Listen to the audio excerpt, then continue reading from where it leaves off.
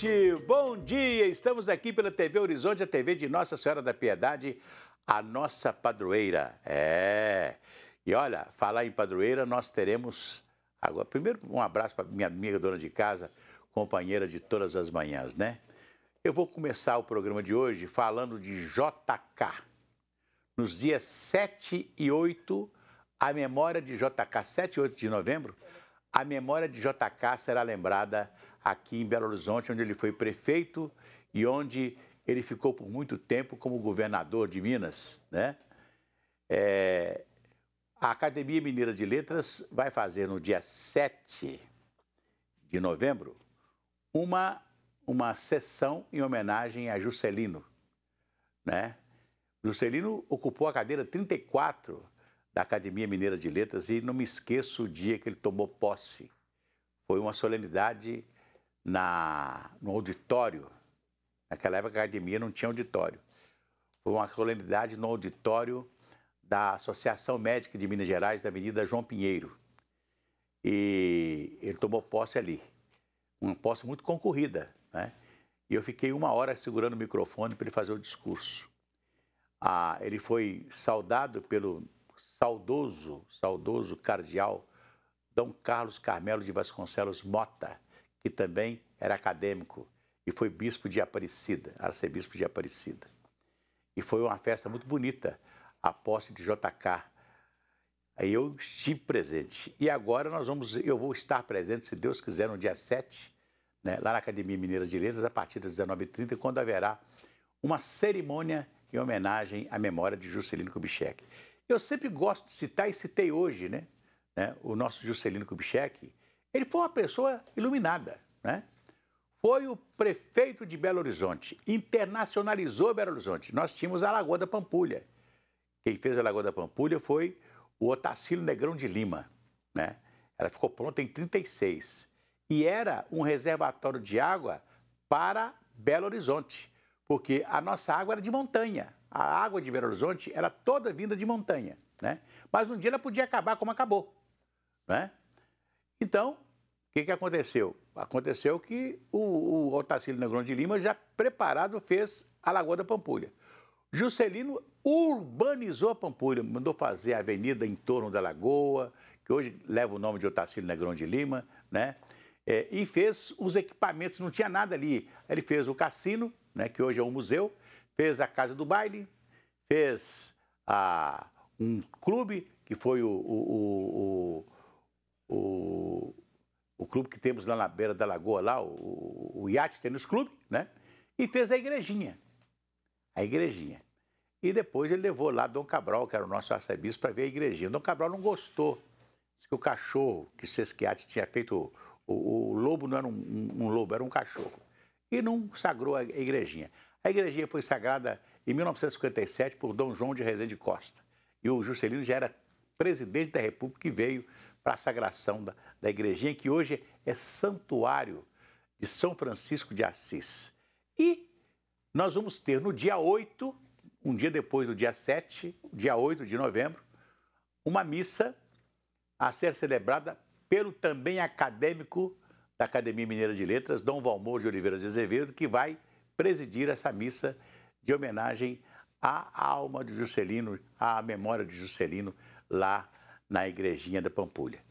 É bom lembrar sempre de Juscelino porque ele foi ele foi um prefeito de Belo Horizonte, que eu disse aqui, né, que internacionalizou a cidade, né, fez a Avenida do Contorno toda, resolveu, levou a Avenida Afonso Pena até até onde seria construída a Catedral de Belo Horizonte, lá na, hoje Praça Milton Campos, né? Ele, ele expandiu a Afonso Pena, fez muita coisa na cidade, né? Era chamado do prefeito Furacão. Depois foi governador de Minas Gerais e lançou as bases de desenvolvimento de Minas, porque Minas não tinha energia, né? Cada cidade tinha o seu motorzinho lá e tal, e etc. E aí ele criou a CEMIG, Companhia Energética de Minas Gerais, e com a criação da CEMIG, Minas teve energia elétrica para gerar o seu desenvolvimento. Né? E hoje, Minas Gerais, esse estado potente, né?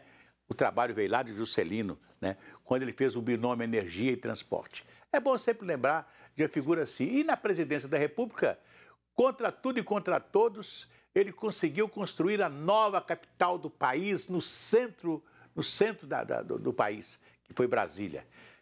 Começou do nada, não tinha nada lá, era um, um mato, né? E, e surgiu na, naquele local a cidade de Brasília. Lançou a indústria automobilística. É, o Juscelino foi um, um, um, presidente maravilhoso. Né? Quando eu vejo, falo de Juscelino, eu fico muito entusiasmado, porque foi um homem que não teve, não brigou com ninguém, não falou bobagem, né? É, sempre sorria, né? E conviveu com os contrários com muita alegria. Fico me lembrando que quando Pedro Aleixo, que era adversário dele da UDN, morreu, ele esteve presente na, na, no velório do Pedro Aleixo, chegou, abraçou a viúva de Pedro Aleixo e a chamou de comadre. Aí que eu fui saber que os dois eram compadres. Ele batizou um filho de Pedro Aleixo. Olha que maravilha, eles eram adversários e compadres, amigos. Né? A política era feita, tinha os adversários, mas ninguém tinha inimigo. Eles eram amigos, companheiros, né? Né? lutando pela, pela... Você chega em Barbacena, por exemplo, você vê lá o que os Andradas e os Bias fizeram em Barbacena, não é verdade? Eram parentes, né? E lutaram pela cidade de Barbacena, que tem muita coisa. Hoje é uma cidade média, né? Das melhores de Minas Gerais.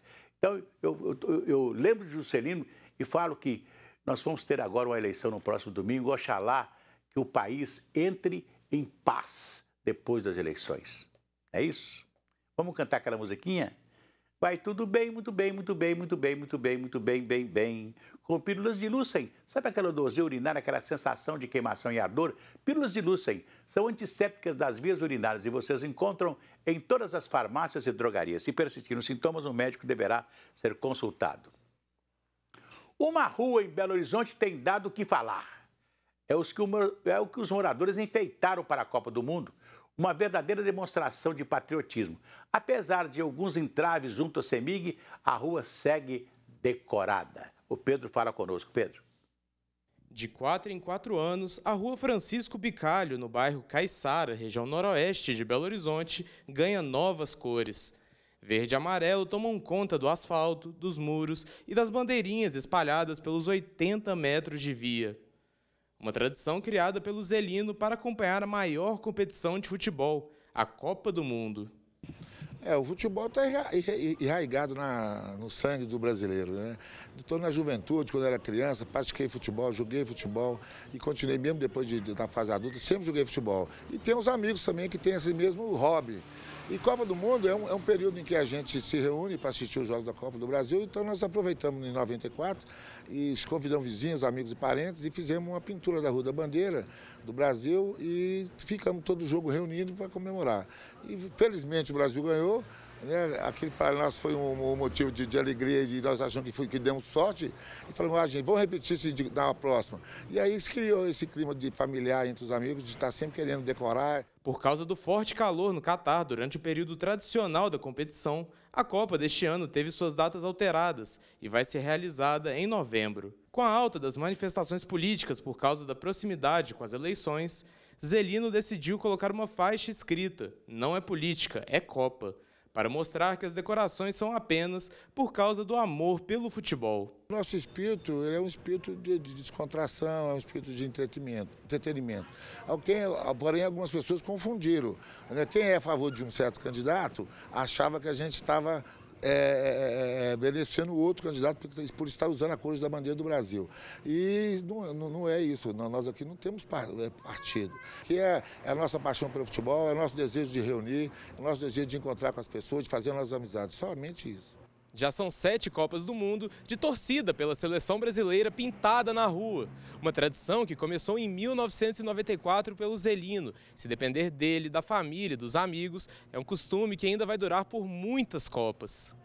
É uma lembrança que eu tenho muito boa da minha infância e sempre vinha para cá, era uma festa gigantesca, brincando, pintando, fazendo bagunça mesmo, igual toda criança gosta de fazer. E é algo que eu vou querer continuar para minha vida, para levar isso para todo mundo, que é uma tradição legal, uma tradição que eu gosto pra caramba, que já fica ansioso para chegar o dia. Então pode ter certeza que filho meu, sobrinho, só não vai continuar se não quiser, mas eu vou insistir. Pois é. Eu até fiz uma crítica outro dia a respeito da CEMIG, né? A CEMIG quis impedir depois que os moradores fizessem o que fizeram com a rua Francisco Bicalho, aí no Caiçara, que fica perto, da, inclusive, de, um, de, de, uma, de, uma, de, um, de um prédio da CEMIG ali, uma, uma subestação da CEMIG, que nós chamamos de subestação é, do Caiçara. Mas eu falei o seguinte, há tantos anos que eles fazem isso, por que, que agora a CEMIG resolveu, né? Queria que tirasse todas as bandeiras, etc., por cada linha, da linha de transmissão, de, de energia elétrica, etc. Tal, né? Acho que as coisas foram se, se, se, se ajeitando e o pessoal não vai ter que desmanchar né, a decoração que fez para a Copa do Mundo. Mas como antigamente você só pegava a bandeira nacional na Copa do Mundo e falava das cores do Brasil na Copa do Mundo, né? Então todo mundo confundiu com, com, com política, porque de repente, né, a bandeira do Brasil e as cores do Brasil foram aí é, é, é, né, nos últimos tempos. Mas é, é Copa do Mundo mesmo, né? E oxalá que eles tenham pintado a rua e o Brasil vai fazer um trazer o caneco, né, o Hexa, para a gente aqui. Daqui a pouco a gente volta.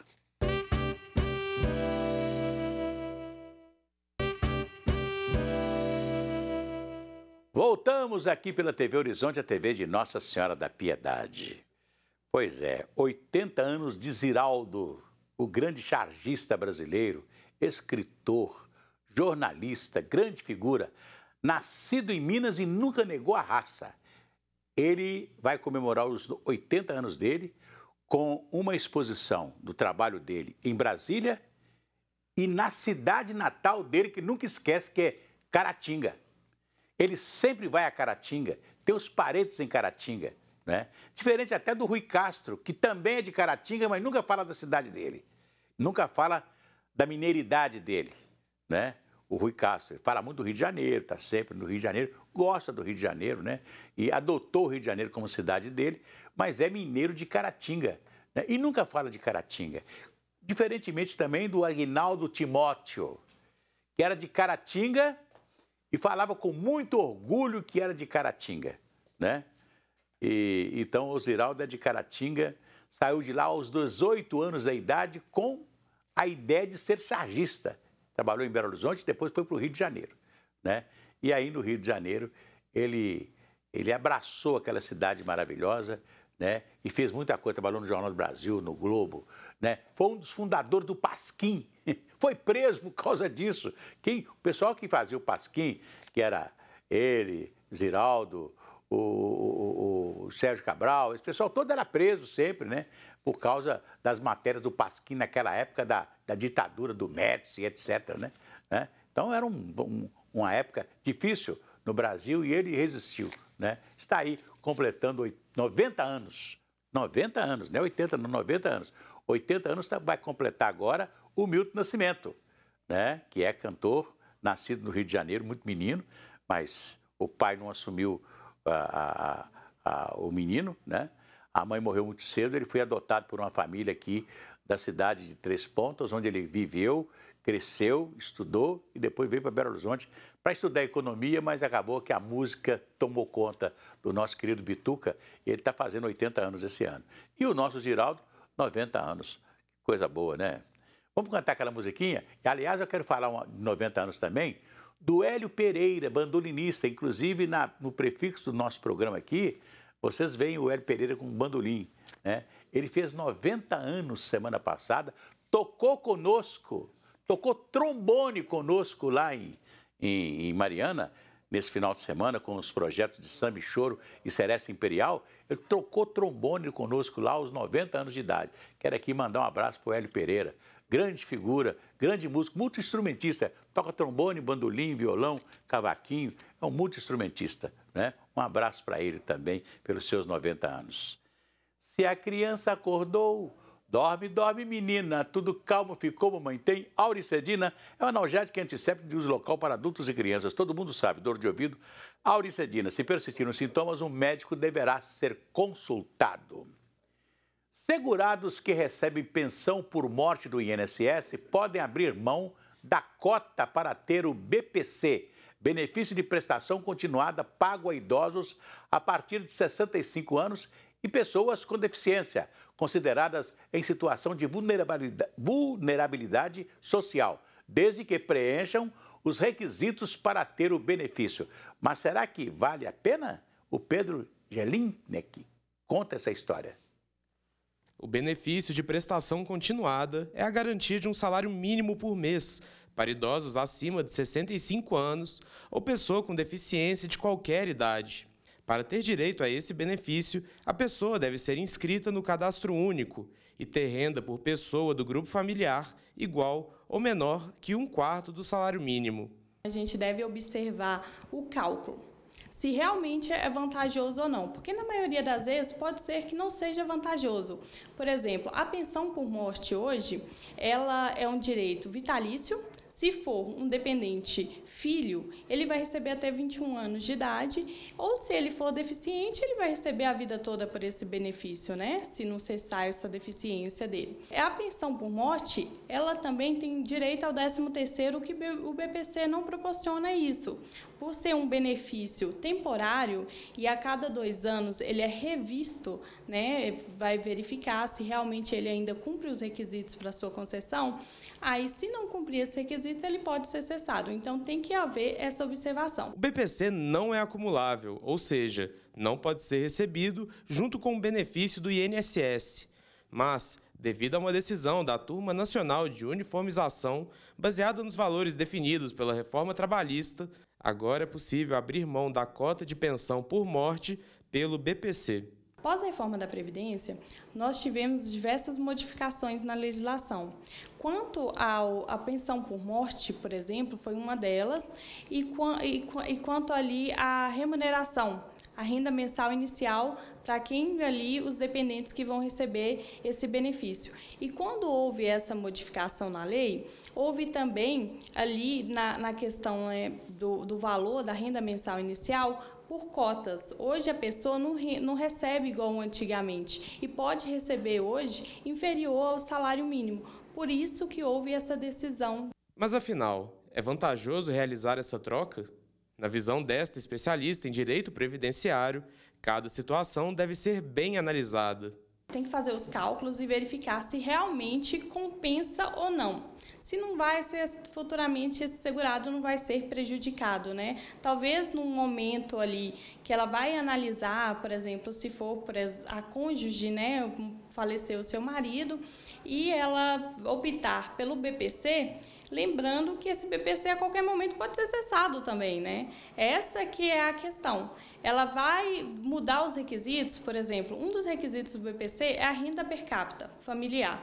E se essa renda per capita familiar for modificada daqui a um ano?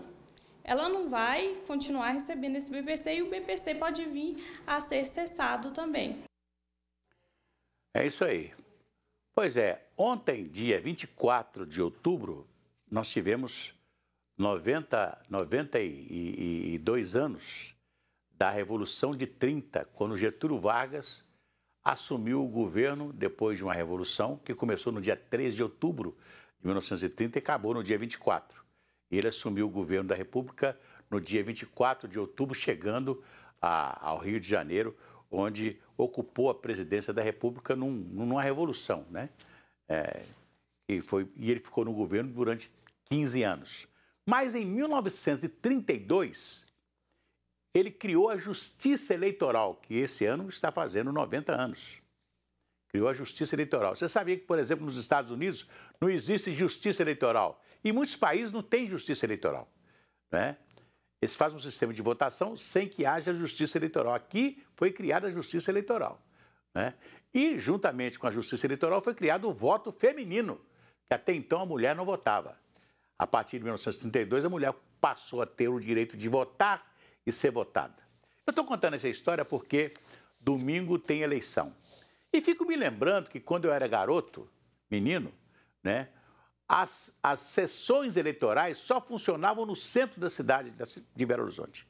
E lembro que lá no meu bairro, né, os candidatos né, colocavam caminhonete, caminhão à disposição dos eleitores para levar os eleitores para votar no centro da cidade, nas sessões eleitorais.